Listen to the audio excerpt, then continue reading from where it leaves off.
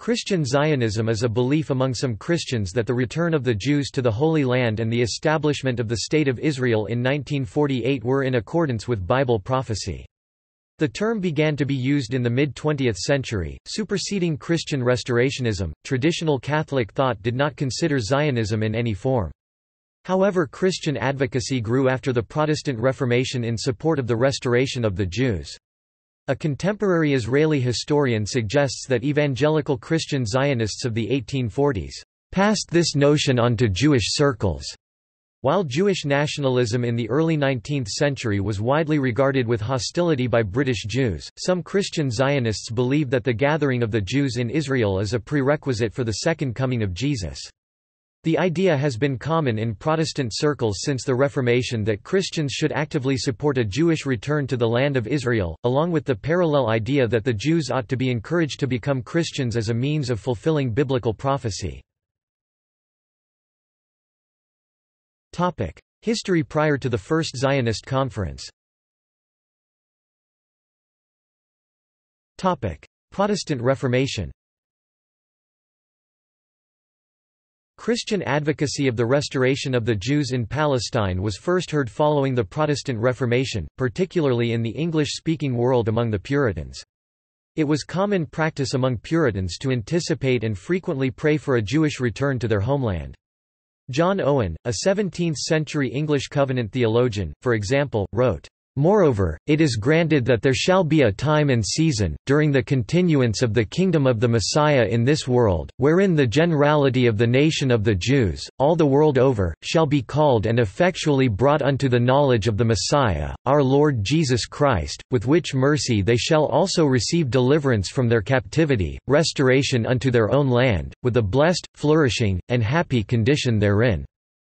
John Gill took a similar position. Samuel Rutherford, a 17th century Scottish theologian, expressed the ardent spirit of prayer of many of his contemporaries. Oh to see the sight, next to Christ's coming in the clouds the most joyful. Our elder brethren the Jews and Christ fall upon each other's necks and kiss each other. They have long been asunder, they will be kind to one another when they meet. O day! O longed for and lovely day dawn! In 1762, Charles Wesley wrote, Oh that the chosen band might now their brethren bring and gathered out of every land present to Sion's king of all the ancient race not one be left behind but each impelled by secret grace his way to Canaan find. Christian support for Jewish restoration was brought to America by the Puritans who fled England. In colonial times, Increase Mather and John Cotton, among many others, favored Jewish restoration. Later Jonathan Edwards also anticipated a future return of Jews to their homeland. However it was not until the early 19th century that the idea gathered political impetus. Ezra Stiles at Yale was a supporter of Jewish restoration. In 1808, Asa McFarland, a Presbyterian, voiced the opinion of many that the fall of the Ottoman Empire was imminent and would bring about Jewish restoration. One David Austin of New Haven spent his fortune building docks and inns from which the Jews could embark to the Holy Land.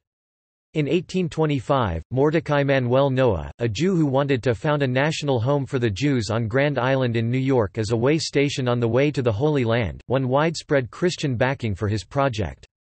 Likewise, Restorationist theology was among the inspirations for the first American missionary activity in the Middle East and for mapping the Holy Land. Many Christians believed that the return of the Jews to Judea, as prophesied in the Bible, was a necessary preliminary step towards the Second Coming.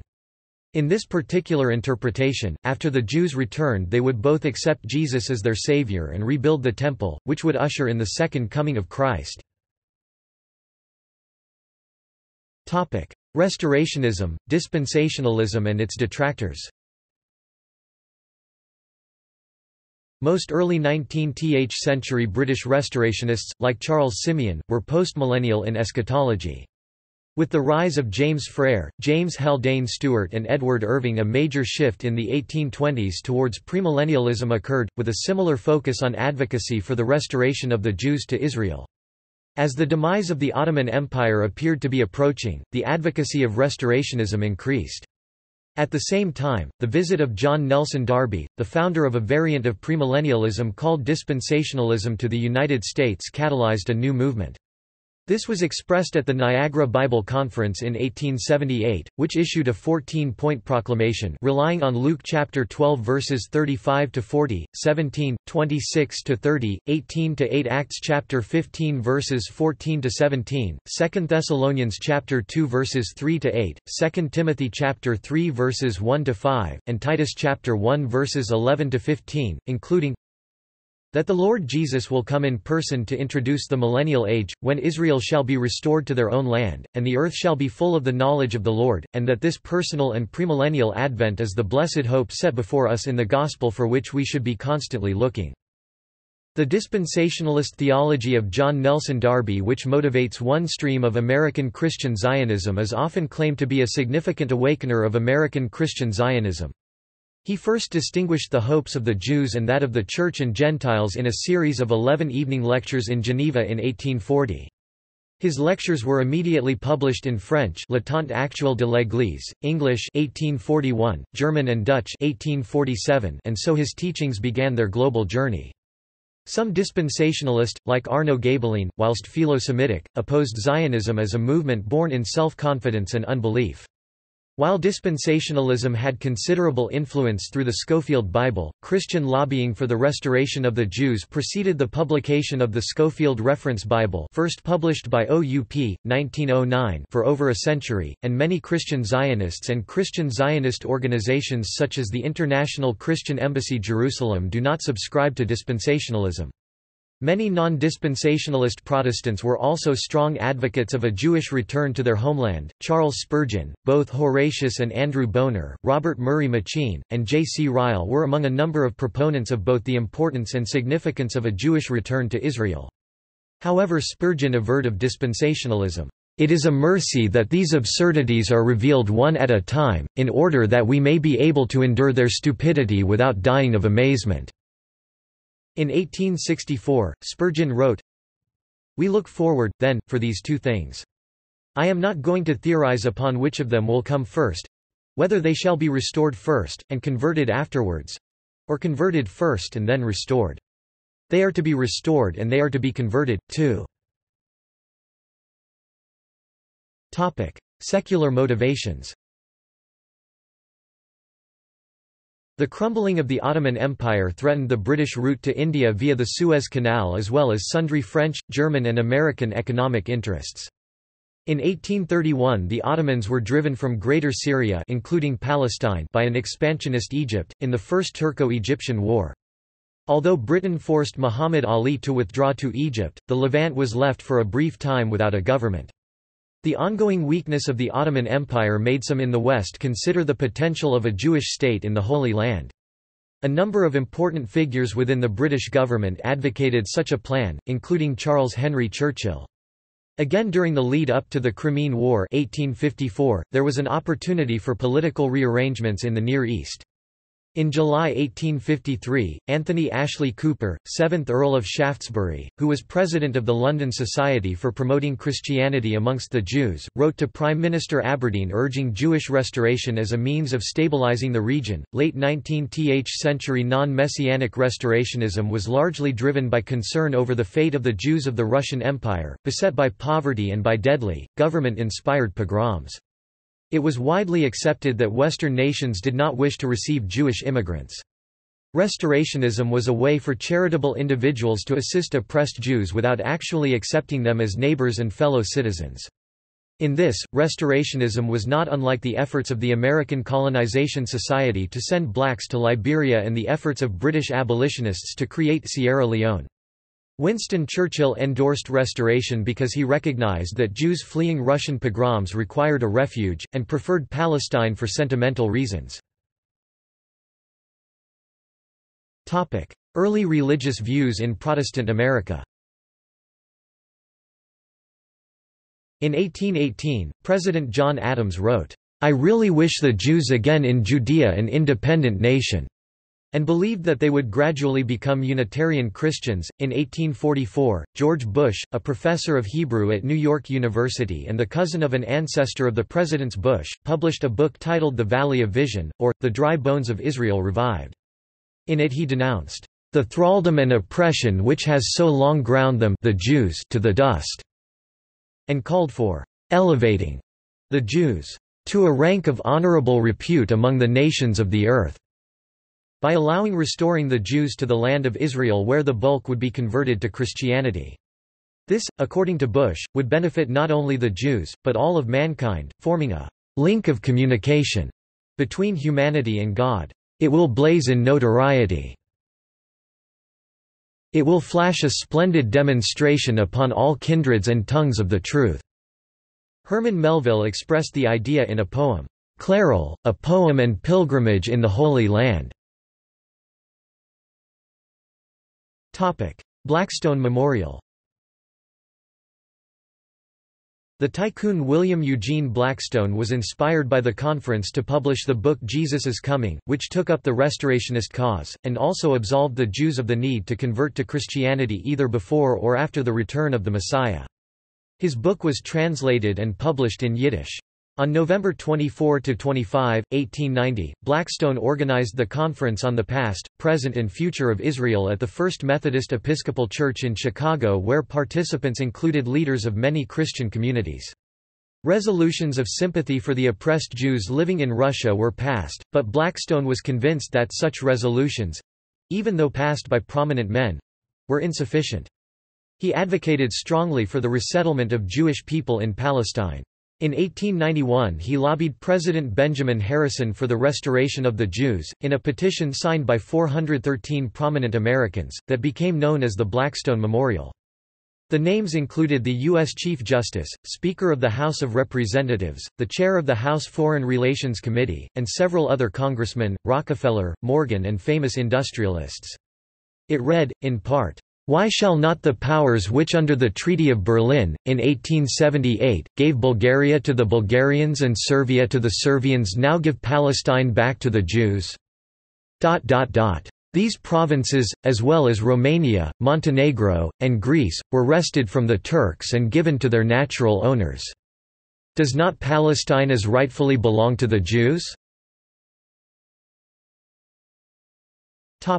Views in the British Empire Ideas favouring the restoration of the Jews in Palestine or the Land of Israel entered the British public discourse in the 1830s, though British Reformationists had written about the restoration of the Jews as early as the 16th century, and the idea had strong support among Puritans. Not all such attitudes were favourable towards the Jews, they were shaped in part by a variety of Protestant beliefs, or by a streak of philo-Semitism among the classically educated British elite, or by hopes to extend the empire, see the Great Game. At the urging of Lord Shaftesbury, Britain established a consulate in Jerusalem in 1838, the first diplomatic appointment to Palestine. In 1839, the Church of Scotland sent Andrew Bonar, Robert Murray M'Cheyne, Alexander Black, and Alexander Keith on a mission to report on the condition of the Jews in Palestine. Their report was widely published. They travelled through France, Greece, and Egypt and, from Egypt, overland to Gaza. On the way home they visited Syria, the Austrian Empire and some of the German principalities. They sought out Jewish communities and inquired about their readiness to accept Christ and, separately, their preparedness to return to Israel as prophesied in the Bible. Alexander Keith recounted the journey in his 1844 book The Land of Israel according to the covenant with Abraham, with Isaac, and with Jacob. It was also in that book that Keith used the slogan that became popular with other Christian restorationists, a land without a people for a people without a land. In 1844 he revisited Palestine with his son, Dr. George Skene Keith (1819–1910), who was the first person to photograph the land. In August 1840, The Times reported that the British government was considering Jewish restoration. An important, though often neglected, figure in British support of the restoration of the Jews was William Hechler (1845–1931), an English clergyman of German descent who was chaplain of the British Embassy in Vienna and became a close friend of Theodor Herzl. Hechler was instrumental in aiding Herzl through his diplomatic activities, and may, in that sense, be called the founder of modern Christian Zionism. When it came to mark the 25th anniversary of the death of Theodor Herzl, it was noted by the editors of the English-language memorial volume that William Hechler would prove, "...not only the first, but the most constant and the most indefatigable of Herzl's followers."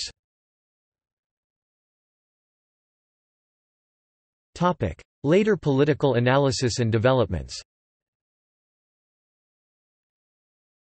Hal Lindsey, one of the most popular American promoters of dispensationalism, has written in The Late Great Planet Earth that per Ezekiel chapter 39 verses 6 to 8, after Jews fight off a «Russian» invasion, Jews will see this as a miracle and convert to Christianity. Their lives will be spared the great fire that God will put upon Russia and people of the coastlands. And, per Zechariah chapter 13 verses 8 to 9, one-third of Jews alive who have converted will be spared. Lindsey has been critiqued for highly specific, failed predictions even by those who share his eschatology, like John MacArthur. Examples of Protestant leaders combining political conservatism with Christian Zionism are Jerry Falwell and Pat Robertson, leading figures of the Christian right in the 1980s and 1990s. Falwell said in 1981, "...to stand against Israel is to stand against God." We believe that history and scripture prove that God deals with nations in relation to how they deal with Israel. They cite part of the blessing of Isaac at Genesis chapter 27 verse 29. Those who curse you will be cursed, and those who bless you will be blessed. Martin Luther King Jr. has also been cited as a Christian supporter of Israel and Zionism. The government of Israel has given official encouragement to Christian Zionism, allowing the establishment in 1980 of the International Christian Embassy Jerusalem. The embassy has raised funds to help finance Jewish immigration to Israel from the former Soviet Union, and has assisted Zionist groups in establishing Jewish settlements in the West Bank. The Third International Christian Zionist Congress, held in Jerusalem in February 1996, issued a proclamation which said, God the Father, Almighty, chose the ancient nation and people of Israel, the descendants of Abraham, Isaac and Jacob, to reveal his plan of redemption for the world. They remain elect of God, and without the Jewish nation his redemptive purposes for the world will not be completed. Jesus of Nazareth is the Messiah and has promised to return to Jerusalem, to Israel and to the world. It is reprehensible that generations of Jewish peoples have been killed and persecuted in the name of our Lord, and we challenge the Church to repent of any sins of commission or omission against them. The modern ingathering of the Jewish people to Eretz Israel and the rebirth of the nation of Israel are in fulfillment of biblical prophecies, as written in both Old and New Testaments. Christian believers are instructed by Scripture to acknowledge the Hebraic roots of their faith and to actively assist and participate in the plan of God for the ingathering of the Jewish people and the restoration of the nation of Israel in our day. Popular interest in Christian Zionism was given a boost around the year 2000 in the form of the Left Behind series of novels by Tim LaHaye and Jerry B. Jenkins. The novels are built around the prophetic role of Israel in the apocalyptic end times. Disapproval by other churches Jerusalem Declaration on Christian Zionism The Latin Patriarchate of Jerusalem Catholic, the Syriac Orthodox Archdiocese of Jerusalem, the Episcopal Church in Jerusalem and the Middle East and the Evangelical Lutheran Church in Jordan and the Holy Land, in 2006 published the Jerusalem Declaration on Christian Zionism, which rejects Christian Zionism as substituting, in its view, a political military program in place of the teachings of Jesus Christ. It criticizes Christian Zionism as an obstacle to peace and understanding in Israel-Palestine. United States. The General Assembly of the National Council of Churches in November 2007 approved a resolution for further study which stated that the theological stance of Christian Zionism adversely affects justice and peace in the Middle East, delaying the day when Israelis and Palestinians can live within secure borders.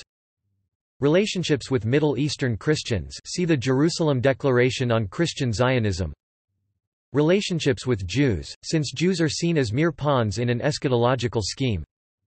Relationships with Muslims, since it treats the rights of Muslims as subordinate to the rights of Jews.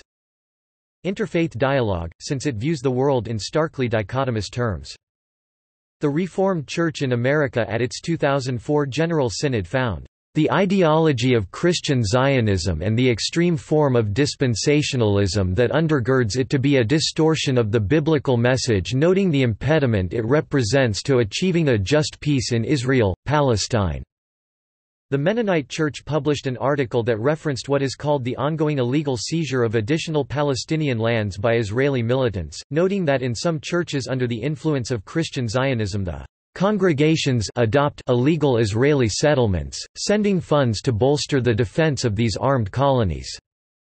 As of September 2007, churches in the USA that have criticized Christian Zionism include the United Methodist Church, the Presbyterian Church USA, and the United Church of Christ. The film With God on Our Side, by Porter Speakman Jr. and Kevin Miller the latter of whom also co-created the film Expelled, No Intelligence Allowed, criticizes both the underlying theology behind Christian Zionism as well as its negative influence on the Church. Scotland.